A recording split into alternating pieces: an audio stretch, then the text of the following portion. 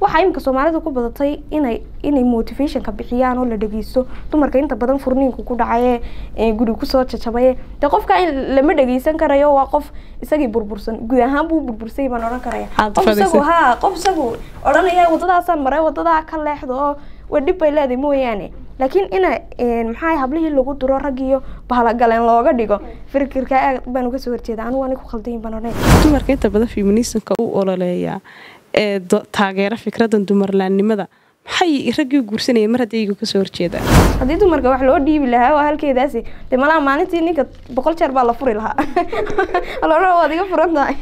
Raggu markaa maskixiyan ha waxaan markaa waxaan odhan karaa dumar raggu maskixiyan bay u fikiraan laakiin dumarku caadifiyan bay u fikiraan oo qalbigooday raacaan. Ninku haddii uu ku qaato gabadhan inay meel kasta la gelayso la tartanto oo ay tallaabadiisa qaado.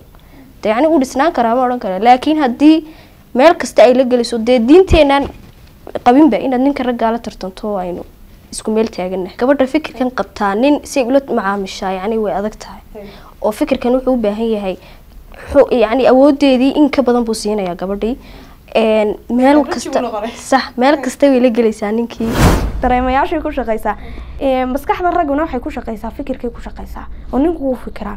Iminka hablaha haddii iminka haddii su'aal inaga layna weydiiyo inagoon ka fikirin bayn jawaabayna laakiin rag waxa laga inuu yaraa aamusu kadib jawaab. Wacana wanaagsan idil ahaantiinbaa haddaa wadayaal war mar kale iyo barnaamijkii dunida haweenka oo toddobaadkana si toosa idinka imaanaya telefishinka c b a t v barnaamijka toddobaadkani waxaa marti igu ah huda cabdiraxmaan iyo sidoo kaleeba nimco maxamed oo ka mid ah hablaha dhalinyarta ee waxbarta kuna nool magaalada hargeysa. Ugu horeyn barnaamijka waan idinku soo dhaweynaya ugu horeyn haddii aan nimca su'aashan adiga kugu bilaabo bal ugu horeynta xageeba ka timi fikradda ah Ee, horta aad iyo aad baan ugu dhawaay barnaamijkan dunida haweenka. Een, aad iyo aadna waa idiin salaamaya adigii bahda telefishinkaba aragtida feminismku horta waa aragti u andacooneysa ama ku ololeyneysa inay ragga iyo dumarku sinaadaan. Waxaanay bale waxaabay sii sheegaysaa oy dooneysaa inay dumarku ragga ka sareeyaan aragtidan waxay bilaabmatay oo ay soo ifbaxday oo xoog u ballaaratay qarnigan aynu ku jirnay koob iyo labaatanaad. Waxaana soo saarnay nin la odhan jiray carles oo faransiis ahaa ninkaasina wuxuu inta badan u jibo qabay oo aada u taageersanaa aragtida shuuciyadda oo ay aragtidan iyo feminismku aada iskugu dhow yihiin. Marka aragtidani waxay leedahay laba qaybood oo aada u waaweyn inkastoo qaybo badan leedahay. Qayb la idhaahdo liberal la yidhaha liberal feminism. Qaybtaasi waa intii waxa la isticmaali jiray kahor intii lixdameeyadii kahor marka waxay ka hadli jirtay oo odhan jirtay dumarka waa in la siiyo qaanuun iyo siyaasad. Wayna qaanuunkana ku soo biiraan siyaasadana qeyb lixaadla ka qaataan. Laakiin qaybtan kale radicaalku waa xag jir oo waxay ka hadlaysaa in qofku bili-aadankii dhalashada aanu kuba dooran jinsigu noqonayo ee uu isagu dooran karo. Micnaha waxay taageereysaa l g b t gasaan odhan karo. Marka aragtidaasi waa aragtiyeedu xag jira in badanna horta marka laga hadlayo feminismku meelo waaweyn bay diinta ka taagan yihiin. Oo sidii shuuciyadu diinta uga soo horjeedo ay feminismkuna waxay diinta u arkaan. Dabar dabar hortaagan furfurnaanta bulshada hortaagan ayay u arkaan. Marka waxay u aaneeyaan dhowr qodob saddex qodob meelaha ayay tusaale u soo qaataan inay diimuhu ka soo horjeedaan dumarka. Waxay ka odhanayaan diintan kiristanku waxay sheegtaa inay dumarku hallow hallo ay hallow ku yihiin ragga. Micnaha inay maran habaabiyaanba ragga. Waxay tusaale u soo qaataan kuleeyihin baybalka waxaa ku taala inay xaawi aadan hallaysay yes. Saasay u arkaan. Marka waxay kuleeyihin tusaalahaas wuxuu sheegayaa inay ina dumarka diimuhu aanay dumarka taageersanayn. Qodobka labaad ay kale sheegaan waxa weeyaan ay dhahdaan diimuhu waxay dumarka ku joojiyeen ama ay ku xanibeen uun barbaarinta dhalmada iyo guri adeega. Waxay dhahdaan marka taas waxay keentay inay raggii muxuu ahaye maareyntii bulshada iyagu qabsadaan oo ay wadooda saaraan. Qodobka kale iyaguna tusaalaha u soo qaataan markay diimaha ku andacoonayaan inay inay dumarka hooseysiiyeen waxaa ka mid ah waxay dhahdaan diimahan samaawiga ah ee yuhuudda kiristanka iyo diinta islaamka.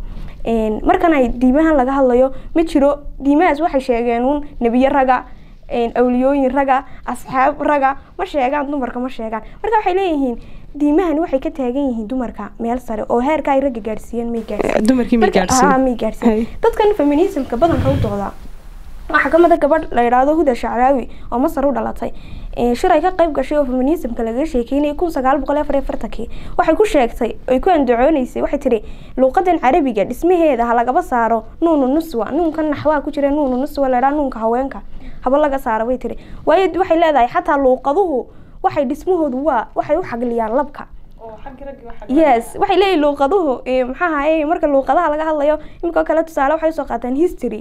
Waxay leeyihiin history marka la leeyahay waxay ujeedaan macnuhu waa his history isaga sheekadiisii waxay leeyahay laga bedelo hair history ha laga dhigo macnaha xataa luuqadaha waxay doonayaan in la- baabi'iyo dhismahooda la eh, la dumiyo. Marka tartan bay ku jiraan. yes xataa diimaha markaan aan sheegayo waxay leeyihiin marka laga hadlayo ilaahay ha la idhaahdo ilaahay waxay tiri subxaan allah inay saa la idhaha feminismku heerkaasay marayaan. Inay wax walba dumarka ka gaadheen. Marka waxaan oran kalaa kolay waa fikir khaldan. Intaasaasana ku soo Een, haddii aynu huda maxay tahay mawduuca barnaamijkeenu maanta ku saabsan yahay inuu guda galno maxay tahay sababta inta badan hablaha loogu sheegay inay feminism yihiin? Se muxuu ka qabaa dhaqankeena oo kale? Waa sax horta walaal waan dhawahay barnaamijkan ku dhawa aad baa umahadsantihiin adiga iyo bahda kaleba inta u badan horta feminismku sidiisaba wuxuu yahay fikir qaldan ama yacni fikir qaldan haddaan odhan oo kale tusaale ahaan fikir dumarnimo waa xaglin. Inta u badan xagga dumarku wuu xagliyaa waxyaaba badan oo negative way ku jiraan. Inkastoo asalankiisii hore uu ku soo bilaabmay yacni fikir saxsan oo ahaa in dumarkii inta la liiday heer la gaadhsiiye la idhaahdo dumarku ma noolaayo kale ama ma neefsadaan oo kale heerkaa la gaadhsiiyey. Inkastuu saasoo kale ku soo bilaabmay haddana hadda iyo waqtigan modernka halkuu marayo marka la eego run ahaantii ha aada buu uga duwan yahay. Negative badanna wuu xambaarsan yahay. Marka haddaan su'aashaada ku soo noqdo dumarka inta badan waxaa loo idhaahdo waa feminism. Yacni waxay tahay iyagoo xadkii iyo xuduudkii loogu talagalay caadi nool aha ahaan inta u badan u durkay dhankii ragga oo kale oo waxyaaba badanoo iyaga xuquuqdooda ama xaqooda ahaa intay ka tallaabeen xaqii ragga gaadhay. Imka tusaale ahaan oo kale haddaan kuusoo qaato waxaa la yidhaahdaa in biilka guriga oo kale ama yacni nolosha caadiga oo kale taa siyaasadda oo kale dumarku inay fifty fifty ku yeeshaan ragguna fifty fifty ku yeeshaan. Marka calashaan diin ahaanteena oo kale marka diinteena la eego diinteenu r- roolal bay kala siisay rool roolis bay kala siisay ragga iyo dumarka. Ha gabadhu yacni maadar huur bay iyadu qaabilsan tahay hooyanimo kale marka gurigii la joogo ninka ragga wuxuu qaabilsan yahay biilkii guriga mas'uuliyaddii kale sare een, uu ka hawl adag yahay marka loo eego xagga dusha sare. Yacni gabadhana gurigiiba gurigiiba iyadana lagu haleeyay oo awlaad barbaarintoodii iyo inay ka shaqeyso gurigii. Marka dumarku inta u badan waxaa loogu odhanaya waa feminism ama fikirka waxaa loogu xambaarinaya waxa weeyaan iyagoo xadkii iyo xuduudkii ragga gaadhay inay yidhaahdaan siyaasadii baan qayb ka noqonaynaa een, hawlihii guriga anagu calishaan markeegaan soo shaqaynaynaa raggu markooda soo shaqeeyaan oo kale. Marka line iyo xuduud baa lakala leeyahay. Marka maana haboonayn in gabadha laftarkeeda iyadoo hooye ah ay shaqaysato. Taas yani shaqaysanayso kale ee noloshii la dabaraysa qoyska ninka maxaa iyada loogu tilmaamaya mar hadiiba ay dabanaanta in gabadha shaqaysato? Maya shaqo kaliya yani xayndaabku ma noqonayo. Oo tusaale ahaan de waxaa jira hooyooyin badan guryo badan oo hooyooyinku wadaan. Oo raggu aanay ogeynba waxba ka ogeyn iyagu marka marka taasoo kale loo eego shaqadii oo kale ma noqonayso. Macnihii guud ee feminismka hoos imanayeyna shaqo yacni inay shaqeyso dibadda ka shaqeyso kale keliya ma noqonayso. Laakiin inay raggii wax la yeeshaan la tartamaan ay noloshii tartan ku xidhaan yidhaahdaan oo kale ragga anagu meel baan la taaganahay isku si nahay waxay qabanayaan waan qabanaynaa kama gaabino. Dee ilaahay dabcan si gaar u kala abuuray. Wuxuu yihi walaysa dakaru kal untha yacni ma aha labku marnaba sida dhadiga ma noqonayo marka xuduud baa jira oo ilaahay inoo kala sameeyey iyo waxyaaba dee yacni inagoo isku xeerinayn oo kale aynu dabar nolosha uga dhignay oo kale. Marka qolo waliba meel bay ku wanaagsantay. Qolo kasta halkay ku wanaagsantay haddii lagu daayo nolosha qolaba shaqo gaar ay haysaa sax noloshu si fiican bay u soconaysaa dabcan. Wax isku xadgudbaya iyo fikir qaldanoo. Fikirkani markuu durko durko wuxuu gaadhaa heer diinta meesha laga saaro. Oo waxay yidhahdaan ha waxay yidhahdaan sinaanta si loo meel mariyo yacni waa in diinta meesha laga saaraa diimaha marka fikirkaasi intaanu halkaasu kale yacni dee kolley caqabadiisu halkaas may noqonaysaa cidhibtiisu halkaas may noqonaysaa. Marka intaan halkaasoo kale nala gaadho waxa fiican diinteena islaamku xeerkii ay noo dhigtay inoo jideys inaynu markasta ku taagnaano marka dumarka sababta loogu odhanayo waa feminism waxa weeyaanuun iyagoo xadkii iyo xuduudkii loogu talagalay dumarnimo ahaan. Ka gudbay. Ha waxay daabkii ragga gaadhay. Taasaan odhan karaa feminism. Gabadha markaasaa la odhan. Nimco dhankaaga ma haddana soo noqdo yacni hablihii ma yihiin kuwa ku dhaqma fikradda feminismka amaba aynu odhano dumarlaanimada dumarnimada. Ma yihiin kuwa ku dhaqma. Horta hablaha soomaaliyeed markaan sheegayno een, waxaa ka badbadatay horta in laga looga difaac badnaado ragga. Micnaha ina garabka mar walba ragga la Oo saaro. xaggii ninku taageero Haa, badan iminka helayaan. inantu markay guriga korayso inanka yar iyo inanta yare walaalihii guriga ku wada korayaan. Waxaa laga yaabaa inantaa yari inay inamo ka waaweyn la dhalatay oo iyadoo iskuulka markaa ka soo rawaxday ay qadadii u karinayso hawshii guriga iyo kala nidaaminayso nimankaas iyagu inay ciyaar iyo howlahaasun ku jeedaan. Kala xaglintaa loo kala xaglinayo hablaha iyo inamada. Horta way keenaysaa inay feminism habluhu ku dhaqaaqaan. Laakiin kulley hablaha soomaaliyeed badankoodu een, arrintan maxaa in aan ogeyn bay leeyihiin? Waana u badan yahay majority-gu inaanay feminismka aragti ka haysan. In baa jirta ka haysata intaasina maxaa haye waa inta dee qaarna way ka baydheen qaarna aragtida way raacsan yihiin oo way jiraan qaar raacsan oo taageera feminismka iyo dumarnimada iyo waxyaabahan. Marka dumarnimadan kolley xaydaabkaas ay hudu sheegtay xaydaabkii unbaa laga sii durkaya raggii baa lagu fogaanaya. Oo wajcalnaa baynakum mawadda waraxmad baa meesha ka baxaysa oo raggii baa iska caabin baa ku jiraysa rag dumarkii habliiba isla xifaartan baa meesha raggii imaanaya. habliibaha iska caabin baa dhex gelaysa. Sax. oo wax kastoo ninkii sameeya waxay doonayaan hablihii inay maxaa haye sameeyaan haa iyaguna sidaa ragga awood sheegtaan. Marka way jiraan hablo ku dhaqma feminismka laakiin ma badna. Dhaqankeena oo kale feminismka suu la falgeli kara horse dhaqankeenu waa dhaqan adag. Soomaalida waxaa la idhahdaa diinta kuma dhaqmaan laakiin gaar bay ka hayaan. Marka een, wuu dhaqan dhaqankeenu aad buu adag yahay. Diintan xoog buu ugu dhow yahay. Markaas suuragal ma noqonayso oo ismelihii way la falgeli kartaa. Laakiin iminka dad ar- dhalinyaradu waxay noqdeen een, indheergarad bay noqdeen wax badan bay akhriyaan buugaag badan bay akhriyaan. Marka waxay yimi inay fikrado badan keenaan dhalinyaradii oo mawduucyo badan oo laga doodo ay imaadaan. Waayo waxbaa la akhriyaya waxbaa la wadaya qaar baa aragtiyooyinkii raacaya qaar baa ka soo horjeedsanaya.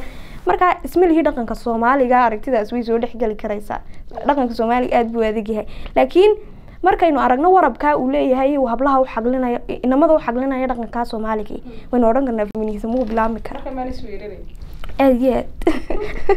Nimco bulshadeenu bulshadeenu qaabkay u aragtaa fikradan dumarnimada. Een, horta inta u badan siday walaasha sheegtay nimca oo kale fikradan waxaa jira haween badan oo aan ku baraarugsanayn aan fahamsanayn inay ku dhex jirtana aan dareensanayn oo dadkeena inta u badan hablaha markay maaragtay waxay ka tahay in iyada cadho way cadho hadlaan intooda u badanoo markay caadifad hadlaan oo kale inantii iyadoon fikirkii garanayn inay ku dhaqmayso ama ay sameynayso waxyaabo fikirkan ku tacalluqa. Een, maaragtay way iskaga dhaqmaysaa yani marka fikirkan inta u badan bulshada kuma baraarugsana uma fahamsana qofkii wax akhriyay ee baadhay unbaa garan kara in fikirkani ka dhex jiro dadka dhexdooda. Ha bulshada marka inta u badan horta ma dareensana inta dareensana waxay u taqaanaayuun sida ay eh, nimca inoo sheegtay markii ugu horreysay barnaamijku bilowday laba qaybood bu ay weeyaan sidiisaba. Mar liberal buu ahaayo markaas markii hore bay ahayd noloshii hore markii lagu waqtigii dala- dagaaladii waqtigaasay ahayd haddana waa radical oo waa qaabkan hadda lagu dhaqmo ee lgt lgbt lgtb-ga yani nagu haga ha ee yani gaadho oo kale.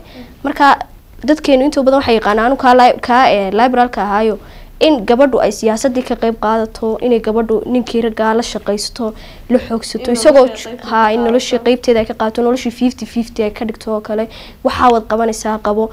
Iminka gabadha oo kale markay hooyanimada ku dhaqmayso inay ninkii tiraahdo markaaga ilmaha faa'iido ka bedel markaygan ka bedelaya markaaga cuntada kari markaygan karinaya markaaga biilka keel biilka qeybteedaan keenaya een, maxay tole siyaasadii kale waan kugula jiraa wasiir haddaad noqoto waan noqonayaa marka bulshadeenu taasay aaminsan tahay oo taasay taqaanaa laakiinse tan kale weli iminka hadda inkastoo ayna soo yaragelayso laakiinse inta u badan taasina may soo gaadhin. Tan hadda in eh, qofku l g t b-ga uu kale ku biiro oo kale taas cayadii iyo raggii in yacni laga soo horjeedsado si qaab xooga loogu fogaado taas way naga dhex jirtaa iska caabin xooga. Taasina walaahi dee dabcan meel hagaagsanna ma geenaysaan filaya marka dad- dadkeenu taasi ka ka aaminsan yihiin feminism. In hablihii dhammaan laysku wada qaado karo lagu wada dhaliilo yani fikirka feminismka inay aaminsan yihiin maadaama inay hablo badanoo ku baraarugsaneen ama qaybo badanoo bulshada ka mid oo aan ku baraarugsanayn jiraan maana hay nooc tacadiga ka mid oo hablihii loo geysanayo waxaanay dee garan karaynba amaba aanay garanaynba lagu eedeynayo. Dabcan haa horta in fikirkan la ogaado uu qof kastoo wax akhriyay qof kastoo wax bartay inuu baadhaa aad bay wanaagsantay weliba dumarka oo kale marka gabadhu iyada oon waxaan ay ku dhaqmayso garanayn oo kale in xukunkii lagu tuuraa horta ma wanaagsana sideedaba. Laakiin gabadhu marka la arko in dhaqankan xaglinta ah ay wada ee dumarnimada ah in marka hore loo sheego haddii aan loo sheegin oo kale gabadhii haddii loo sheego yacni oo qaadan weyda gabadha iyadoo aqoon leh haddana ay ku socoto fikirkan qaldan. Taasoo kale waa la odhan karaa markaasoo kale inay feminism tahay. Sidoo kale markaan si waan kuu sheegay xuduudka markay ka gudubto oo kale xayndaabkii taasna markaas kale feminism kuwaas waa kuwii ku dhaqmayay yani kuwii kale aan iyagu kuba baraarugsaneyn in la wada idhaahdo bulshada imika habluhu waa hablo wada feminism tusaalahaan kale inan yeelin markay wada hadlayaan inanta hadda inankii wixii aragti hadalkii kaga aragti duwanaato kale. Inuu inanku markii idhahdo waa feminism oo inantii oon fikirkii waxba baan ka garanay haddii doonto uu shaambadeeya maana ahayn nooc tacadiga ka mida oo inantii lagula kacaya ama dhiirigelinba loogu sameynaya inay fikirkan taageerto kale. Sax sax sax. Horta dee macno gaara inay raggu macno gaara inay raggu ku xambaariyaan oo kale maaha. Feminismkii dabcan dee wuxuu leeyahay macno laysla ogyahay oo yacni dee international oo la yaqaano.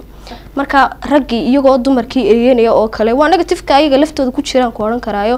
Dumarkii markay eegayaan ay dumarkii wax badan ku dhaleecaynayaan iyaga laftooda bay ku dhaqmayaan. Fikirkan waxaad moodaa inay iyaga xaggooda xataa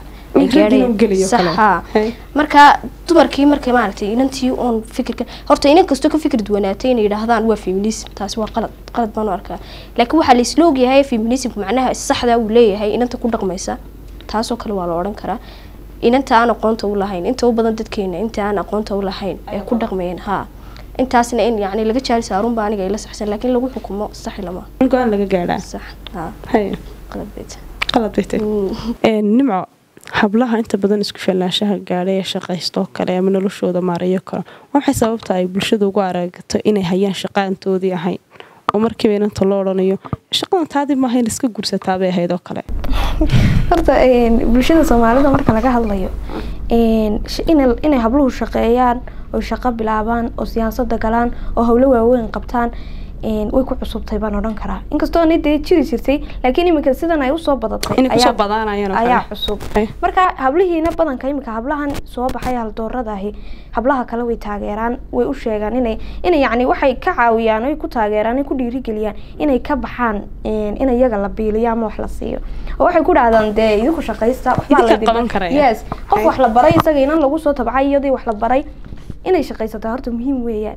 Aada bay muhiim u tahay. Marka bulshadu waxaan odhan karaa un shaqadan ku cusub ee hablihii imika wada bilaabeen. Unbaa keenaysa inay hablihii een, ay u arkaan inay hayaan shaqaantooda hayn.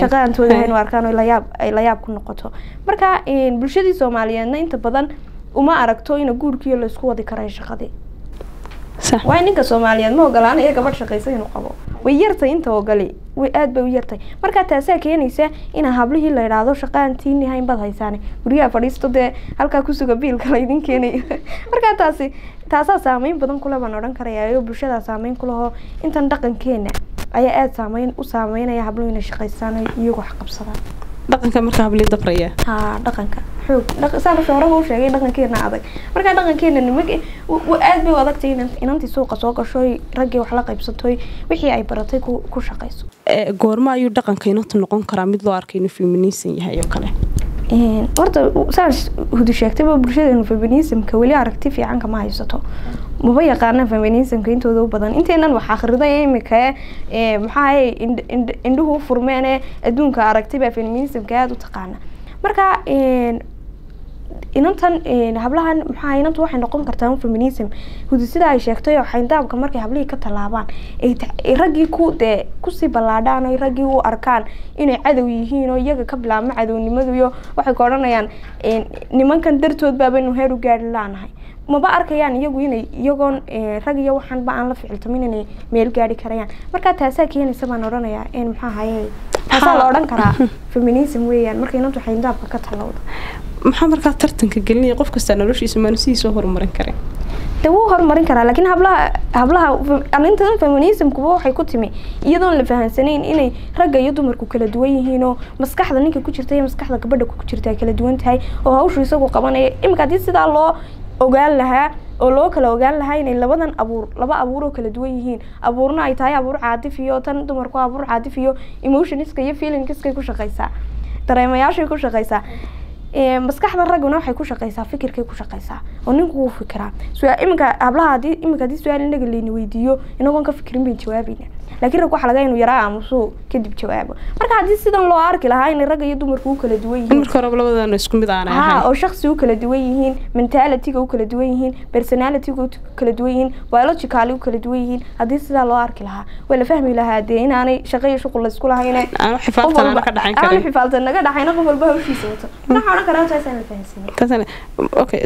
dumarka inta badan feminismka u ololeeya ee taageera fikradan dumarlaannimada maxay raggii guursanaya mar haddii iyaga ka soo horjeeda horta waa su'aal isweydiin mudan oo waxaad arkaysaa dumar badan oo inaga inoo sheega inaan ragga lala hadlin inaan ragga lala sheekaysan inaan waxba laga qorin laakiin iyagu rag guursaday rag ay rag qabaan waxaa sababta talo marka waxaan odhan karaa kolley waxaan odhan karaa aragtidan ma garanaysaa baa si khalada loo fahmay in raggii sidan aan kuu sheegay in raggii lagu fogaado cadowga ugu horreeya dumarka laga soo qaado ayaa aragti aada u qaldana totally hablahana waxaan leeyahay yaana waxba la horta yana qofku waxaa imika soomaalida ku badatay inay inay motivationka bixiyaan oo la dhegeysto dumarka inta badan furniinku ku dhacaye ee guri ku soo jajabaye. Dee qofka in lama dhegeysan karayo waa qof isagii burbursan guud ahaan buu burbursay baan odhan karaya. Qof isagu haa qof isagu odhanaya wadadaasaan maray wadadaa ka leexdo oo waa dhib bay leedahay mooyaane. Laakiin ina maxaa hablihii lagu duro raggiyo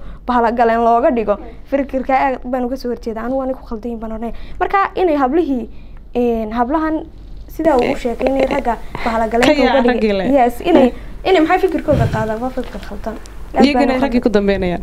Qur'aankeena ama yacni diinteen waxay noo sheegtay in noloshu ay tahay isku tiirsanaan iyo isdhamaystir midka kale ha dhamaystirayo yacni raggu inay dumarka u baahan yihiin dumarkuna ragga u baahan Sax. yihiin laakiin marka fikirkan la eego noloshu wuxuu ka dhigayaa fikirkan tartan iyo loolan iyo labadii qof oo ha in la xifaaltamo in la xifaaltamo waxyaaba badan la isku qabsadoo kale.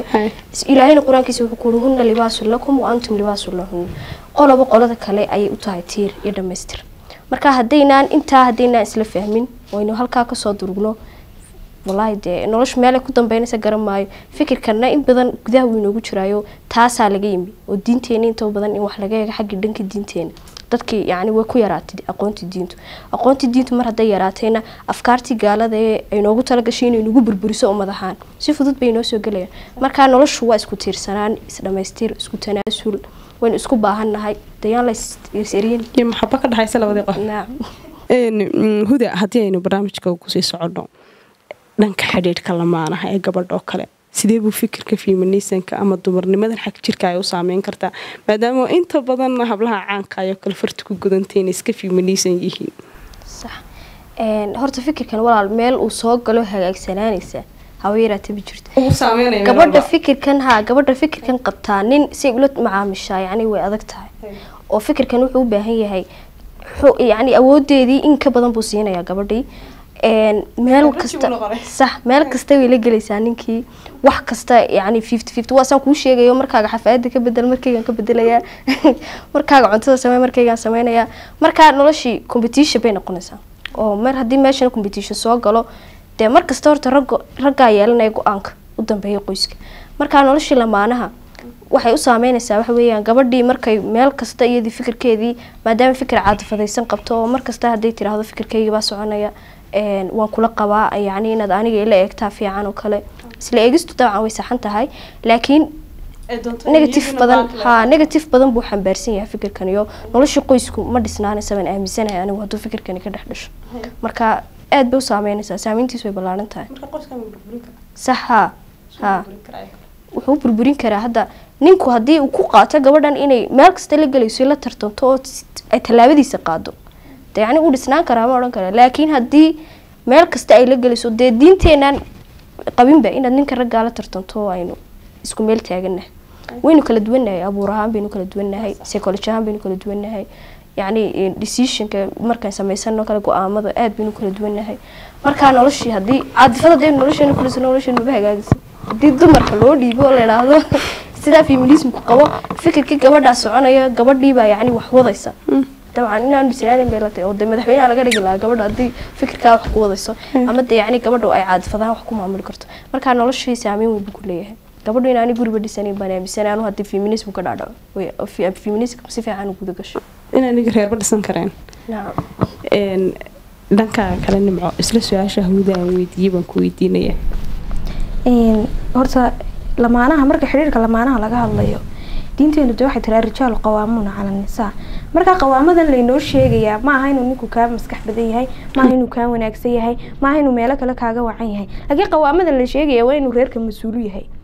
Marka structureka qoyska ninkaa mas'uula gabadhuna maxaa way ka hooseynaysaa. Marka meesha markuu mas'uul imaado daaca imanaysa. Marka mas'uulka weyna la adeeca imanaysa inay gabadhi ninkeeda adeecdo. Marka qawaamadan la sheegaya waa ninkuu guriga mas'uul ka yahay gabadhiisina adeecdo. Marka haddii taasi meesha ka baxdo aragtida feminismka markay gabadhi qaadato waxaa meesha ka baxaysa daacadan iyo mas'uulkan baa meesha ka baxaya. Waa waxay rabtaa in iyada go'aankeeda la qaato sida kiisa loo qaadanayo marka inaga diinta islaamka last decisionka waxaa le ninkaa le waa in go'aanka ugu dambeeyay isagu gaadhaa. Fikir waad siin kartaa ee, wax waad ku kordhin kartaa laakiin go'aanka u dambeeya isagaa qaadanaya marka markay feminism meesha soo dhex gasho waxaan odhan karnaa yes markay taasi meesha soo dhex gasho qoyska ma dhisnaanaya wuu burburaya. Sidaa hudus sheegtay in hadday dumarku caatifad bay ku dhigsan yihiinoo? Haddii dumarka wax loo dhiibi lahaa waa halkeedaasi dee malaha maalintii ninka boqol jeer baa la furi lahaa. Alona waad iga furan tahay. Rag markaa maskixiyan ha waxaan markaa waxaan odhan karaa dumar raggu maskixiyan bay u fikiraan laakiin dumarku caadifiyan bay u fikiraan oo qalbigooday raacaan. Marka qoyska feminism soo dhex galo ama lamaanaha feminism soo dhex galo ma dhisnaanayaan weliba diinta islaamka kuma dhisnaan karayaan nimco haddii aan dhankaa ka horeeyo. Ee, sidoo kale ee, toddobaadyadii ugu dambeeyey oo kale social media waxaa haystay yacni rag iyaga laftarkoodu arad aad aad oo kale dumarka u ataagaya sida ninkii lahaayoo kale ilmuhu hooyada uma baahna laakiin hooyada ayaa ilmaha u baahan. Yacni kuwaasoo kale maxay noqon karaan horta laba gooraba labada dhanba way khaldan yihiin sidaan ku markii horena kuu soo sheegay. Ina ragga loo xaqliyaana way khaldantahay ina dumarka loo xaqliyaana way khaldantahay marka wa- waxaa horta ceeba ina hooyo ilmaheedii la yidhaahdo ilmaha ilmahu hooyadii uma baahne hooyada ilmaha u baahan. Aad bay khalad u tahay. Waana fikir khaldan. Kolley ragguna waxaan u malaynaya majority inaanay fikirkaa taageersanayne. Barh ka mid oo dee in eh, maxay contract soo saxeexdeen iyo inay iska caabini ku jirto. Oo meel kale ka xanaaqsan mooyaane. Inaanay raggu intaa ku taageersanayn baan u malaynaya. Horta de marka diinta islaamka laga hadlayana dumarka muxuu ahaayey xaq badan badan bay diintu siisay. Waxa la de taxta eh, jannada maxaa la dhigay? Taxta aqdaam alummahaat hooyooyinka lugahooda hoosteeda jannada la dhigay. Marka iyadoo dumarka heerkaa diinta islaamka gaadhsiisay ina qof yar uu dumarka xegxegto uu ka daba hadlo waxyaaba badan oo aan meeshaba ku jirin uu keena. Anugu fikir aada u khaldan baan u arkaya bulshadana ina arintaa laga laga qabto oo maxaa intaani waxaasi faafin iyo dhaqan xumadaasi aanay ballaadhan oo raggu waxa aanay sii wadin in la joojiyaa. Aada bay wanaagsan tahay. Dadkuna ka hadlaan oo sheegaan de inaanay arrintaasi wax saxa ahayn ay qaladkeeda la muujiyo. Aada bay u fiican tahay. Marka waxaan arkayaa inay khalad tahay de ina laisxagxagto laisjiijiito ee qof walba sidii markii horeba sheegnay ina ina maxaa ahaye dhan walba dee halkaa uu ku wanaagsan yahay uu ku maamuusnaado oo halkaa ku oo sharfanaado ku sharfanaado meeshiisa. Halkaa uu ku joogo. Saas Een, huda ee, isla dhankaagan su'aashaan nimco weydiiyo soo wareejinaya horta sideedaba yacni in labada dhinacba dumarkuna ay ragga ku talax tagaan? Ragguna ay dumar ku talax tagaan nolosha horta ma fiicna. Nolosha markasta saan kuu sheegay waa isku tanaasul iyo waa balance waa isku dheeli tiran tahay. Qolaba qolaba meel bay ku fiican tahay. Hadda tusaale ahaan oo kale hadalka hadal ka horreeyay baa jiro ahaa dee in gabadhu inteeda meherka moobilkeeda ay iibiso oo kale moobil qaali hadday sidatay gabadhu Saa ka u iibiso jira ay barnaamijyada. meherka ka bixiso ninka oo kale. Dee caawimoyin uu yidhaahdo ma sheegin laakiin in gabadhii xil aanay lahayn la saaraa taas lafteedu ragga in loo xaglinaya dhankeedun bay ka turjumaysaayo aragtidii feminismka aragti lamida oo dhankii ragga ah taasi ayay sheegaysaa. Marka een, dabcan fikirkaasi waxaan odhan karaa dad caanimaraadiso qof yacni ku talagalay in la wadwado oo hadalkiisa la jiidjiido horta wax laga hadla maaha in la dabagalo oo yacni la sii wadwadana dabcan faa-iiday u tahay baan filaya waa hadalkaa wixii ka yeedhsiiyey buu ahaa. Marka ilama fiicna fikirkaasi waa fikir qaldan hadalkaasi hadal qaldan buu ila ahaa dhankayga. Nolol ahaana dee noloshu inooma hagaagayso haddaynu isku fiirsano oo marka dumarkii loo fiirsaday la yidhaahdo hooyadii xaq iyadoo ilaahay xaqi siiyey xaqeedii haddana la baalmaray ee la yidhaahdo dabcan waxaa laynoo sheegay in ubadku hooyadii iyagu yihiin oo barbaarintii tarbiyadii wadwadkii dee ilmuhu keligiisa ma wadwadayo. Ilmuhu cuntada keligii ma doonanayo. Hooyadu ku xidhan hooyadu ku tiirsan yahay naasnujintii oo kale ku tiirsan yahay caloosheedu ku soo barbaaray. Noloshiisiiba hooyada. Ha, sagaal bilood oo noloshiisa ka mid sagaalkaa bilood hadduuna hooyada ilmuhu u baahnayn. Sagaalkaa bilood dee halku ka yimid. Ma isagaa isu soo waday hooyada cuntada cunto hooyada nolosheeda say tahay. Stress hadduu ku furmo haddii ay nolosheeda iyadu ku faraxsan tahay farxadoo kale ay ku soo biirto ilmaha saameyn bay ku lahayd. Sida ay markaa uu caloosha ku jiray ilmuhu saameynta ugu lahayd hooyada noloshiisa ayay markanuu ifka imaadana barbaarintiisa tababarkiisa wadwadkiisa yacni nolosha inuu heer ka gaadho oo kale hooyadu ay saameyn ugu leedahayo. Markaasoo kalena hooyadu ilmuhu isagaa u baahan. Marnaba hooyadu ilmaha iyadu uma baahan. Marka waa la isku tiirsan yahay. Dee markaa fikir qaldan buu leeyahay aniga dhankeyga dee raggin iska nolosheenina liidnimo xoog uu keenayayo markaad u fiirsato meel xun buu inagu wadaa. Oo inta u badan haddii la sii wadwado sii ballaadho waxa dad badan baa aaminaya dad badanoo caamo aba jiro aan waxba garanayn wixii loo sheego iyagu qaata. Sii wadwada waxaasuu ku dhaqma dadkan ka shidaal qaadanaya. Markaa dadkeenii muraayadda ahaa la dhegeysanaya hadday mar kasta dhankii xumaa wax ka eegaan oy mar kasta afkaar qaldan noloshii dhex keenaan dee nolosheenu sii dhisnaan mayso hagaagi mayso fikrado kale markaa nagu faafaya. Nimco inagoo barnaamijkeenu gabagabadii ku dhow yahay in fikirkan feminismka gabadhu markay ku dhaqmayso wax horumaraa ma ka gaadhaa si dib u dhac nolosheedii ma ku keenaya oo kale. Sax. Horta marka laga hadlayo dumarkan muslim muslimka ah ee ee diinta islaamka haysta marka laga hadlayo kulley noloshooda iyaga dib u dhac mooyaane wax horumar ay u keenaysaa ma jirto. Inay gabadhii tartanto oy raggan baal cararto oy la safato oy siday yihiin u dhaqanto oy raadisay inay ragga ka sarreyso waxaan u malaynayaa inaanay guul adduun iyo mid aakhiro toona aanay gaadhin. Waayo dee waxaba laynoo sheegay innaga inaynaan ragga la tartamin aynu qawaam inaga yihiin oo inaga qawaamsan yihiin.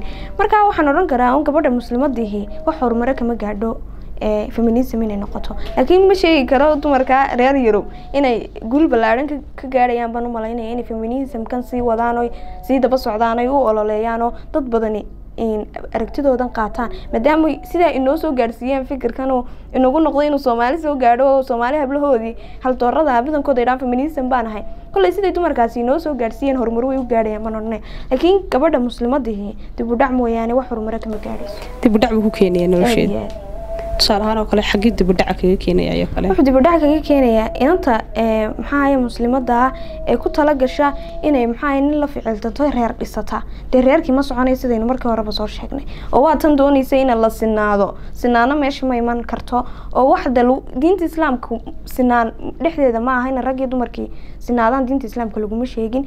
Dhaqankii soomaaliga rag dumarku ma sina markaa gabadha muslimada ahi dee dib u dhaca weyn ee reerkeeda ku imanaya ayaa dib u dhac ugu filanba. Marka waxaan odhan karaa dib u dhac ballaaran buu ku keenaya iyada Dib u dhac ballaaran buu dhankeeda ku oo keenaya. dhan walba.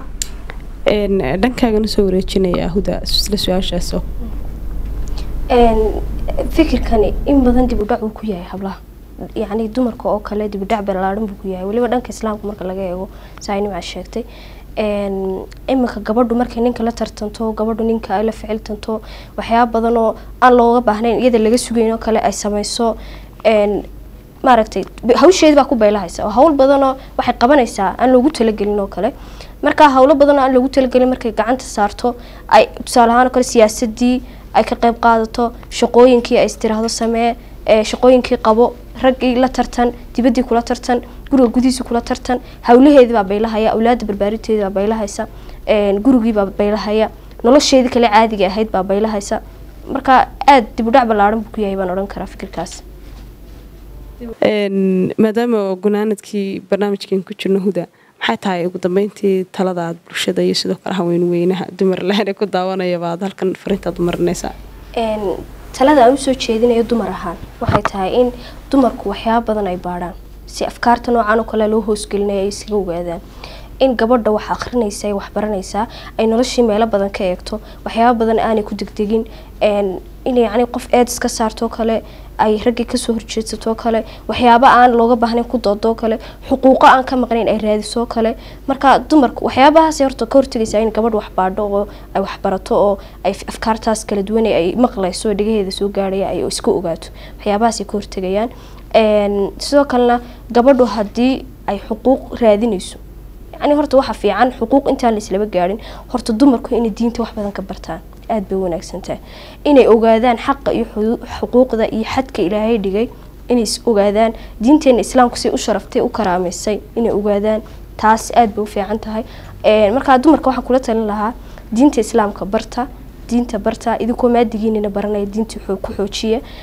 Afkaar badan waxaa jirto nolosha hadda way adkaatay si yaroo fudud baa wax walba la isku soo gelinaya markaa dumarku inay wax isku ogaadaan wax bartaan weliba dhanka diinta ay u badnaadaan. Taasaan tala soo jeedinaya. Taasunbaa dabar u noqon karta afkaartan qaldan ee nagu dhex jira. Marka xaq iyo xuquuq ka maqan dumarku ma jirta ma jirto. Dumarka xaq iyo xuquuq ka maqan oo ilaahay baa sheegi lahaa qur'aankiisa ku sheegi lahaa.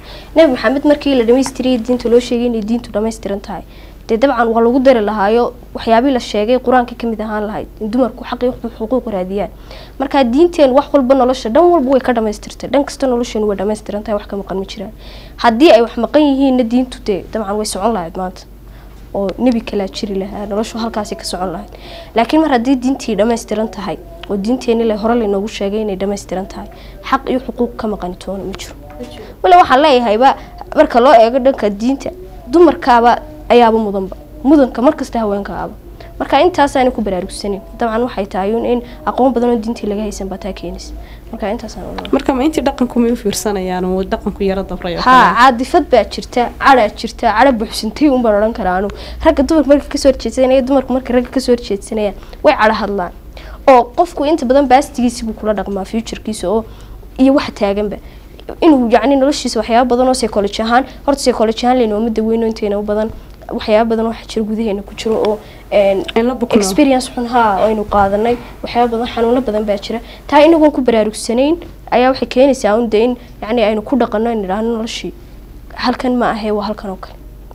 Marka taasaa keenaysa aynu odhan kara dhankaaga ugu dambeyn fariintaad u dirayso maxay tahay bulshada horta bulshada waa laba waa rag iyo dumar sida aynu marka horeba ka sheekeynay horta hablaha fariin baan u diraya mid baan leeyahay. Kolley waxaan leeyahay waynu u ololeynaynaa dumarnimada. Inay dumarku wanaagsanaadaan dumarku fiicnaadaan dumarku waxyaabo badan qabsadaan. Tamartooda iyo maxaahaye wanaagooda iyo waxay qaban karayaan ay soo saaraan. Aada bay wanaagsantahay waana u ololeynaynaa kama soo horjeedno. Laakiin qaabkaynu ugu ololeynaynaa waxa weeyaan inay inagu sidan aynu ragga kaga duwannahay aynu kula tartanno maadaamaaynu ka fikir duwannahay maadaamaaynu waxyaaba badan kaga duwannahay inaynu sida aynu kaga duwannahay kula tartanno. Iyaynaan iyaga raganimadooda aynaan gelin. Maadaama inaga ilaahay noo dooro inaynu dumar nahay dee gabadha gabadh noqotay ee ilaahay dumarnimadaa u soo dooray inay teedaa ku adkaysato sidaa aynu nahay aynu kula tartanno. Maadaama waxaa la yidhahda dumarku xifdiga way kaga fiican yihiin ragga. Xataa marka carruurta laga hadlayo psychologyga waxaa la yidhahdaa hablaha yaryari inamada way ka horbataa ka horbartaan hadalka waxaa laga yaabaa inantu iyadoo intaasoo erey taqaana markay yar tahay baa inuu ku eriyo badan aqoon. Marka inagoo sidaa uga duwan psychology ahaan mental ahaan ka duwan inaynu waxaa kaga duwannahay kula tartanno ayaan rajeynayaa waxaynu soo soo saari karaynaa markan waxaynu leenahay ku tartanno qofku wuxuu wax noqdaa markaanu wax iska dhigayna iminka haddaad adigu adigoo maxaa inana aad wax kale iska dhigto. Ood qof kale doonto inaad noqoto waxa baaba-aysa shaksiyadaadina way baaba-aysaa tii qofkana ma gaadhis waxaa la yidhahdaa oo dacaawadii talaabada ka tagtay tii nabigana gaadhi marka ayaynan ragga maxaa ahay tooda aynaan maxaa kula tartamin. inaan tooda hiigsanine aynu teena inagu ku wanaagsanaano heerkaa dumarnimadaynu taaganahayna maadaama sidaa diinta islaamku inoo sharafto inoo karaamaysay teena aynu qaadano. Intaasaan dumarka kula talin lahaa. Hablahana raggana waxaan odhan lahaa weliba ragga soomaaliyeed. Badanaa ragga soomaaliyeed waxay sameeyaan. Markay iyagu iscaayayaan inaad aragtay garan maaye dumarnimada isku caayaan. Gabadh baa taayee naga tagiyo. Waxaasaa taayee naga tagiyo. Markaa gabadhnimadan ay isku caayayaan. Inay meesha ka saaraan baa wacan in isma qabanayso feminismkiina waanu diidaynaa hablay feminism baanu ku sheegaynaa. Annagiina dumarnimadu waanu caayaynaa wax caya baanu ka dhigaynaa. Waanu liidaynaa isma qabanayso. Marka waxaan leeyahay dee idinku sidiina isku caayo sidiina isku ataago aa dumarnimadan cayda la soo koraysaan naga daaya aad baan iyagana uleeyahay tiin raganimadiina ku ekaada dumarkana waxaa leeyahay dumarka laftirkooda qaar badan baa jiro. Haddii nin soo aflagaadeeyo kala social mediaha dumarnimada ku caayaysa waa runtu iyaguna way jiraan. Ina dumarnimadii liid liid laga dhigo oo bulshadii liido ay hooseysiisaa waxay keenaysaa aragtida feminismku inay la soo gasho waayo waxa algay feminismkani siday markii hore soo sheegna waxay ka timi ina dumarkii reer yurub la yasay oo la hooseysiiyey? Bale waxaabay isku hayan jireen. Nimankii maxaa xadaaradii greeg waxay odhan jireen dumarku waxay odhan jireen waxay odhan jireen saddex wax uu yidhi aristotle. Wuxuu yidhi saddex wax tasarufaadba ma yeelan karaan. Micnaha iyagu noloshooda go'aanba kama gaari karaan. Dumarka ilmaha iyo addoommada. Wuxuu yihi saddexdaasi noloshooda iyagu go'aanba kuma laha. Heerkaa markii soo gaadhay yurubiyaanku soo gaadheen ba xaalada feminismku bilaabmatay oo ay aasaasantay marka innagana haddaynu dumarnimada liidno waxaan odhan karaa xaaladan way nagu sii baahaysaa. Markaasfursad bay helaysaa kacdoonkuu badanaya. Markaas si aynu tan u joojino xaaladan dumarnimada hooseynta laga dhigayo aynu joojino cadaadiska badan negative badan unbuu abuuraya. Wax alla wuxuu soo faa'iideynaya ma jirto. Markaa in la is cadaadin qof kastaba roolkiisa ha loo daayo waynu sharfanahay saa aynu sharafta ku leenaynu ku joogo. Qof walbaaba sidiisa ku aad waa tahay daawadayaal barnaamijkii dunida haweenka ee toddobaada kane intaasi inagu ogyahay iyadoo mawduuca toddobaada kane aynu kaga hadlaynay uu ahaa fikirka feminismka qaabka ay habluhu ugu dhaqmaan iyo sida ay u arkaan amaba qeybaha kala duwan ee ay bulshadeenu ka aaminsan tahay. Barnaamijka waxaa si wada jir ah marti igu ahaa nimco maxamed iyo sidoo kaleba huda cabdiraxmaan oo san hore u soo sheegay ka mid ah dhalinyarta hargeysa wax ka barata. Sidoo kale waxaa duubay barnaamijka waa cabdirasaaq casmaan isla cabdirasaaq casmaan baa farsamo yaqaanka barnaamijkan idin soo gaarsiin doona idii hagaajinaya. Anigoo warda aamiin ahna si toos ah ayaan idinku soo tabinaya intaynu barnaamijkan kuwa la mid a dib ugu kulmaynana waxaan idinkaga tegaynaa dhammaantiinba asalaamu calaykum waraxmatullaahi tacaala wabarakaatu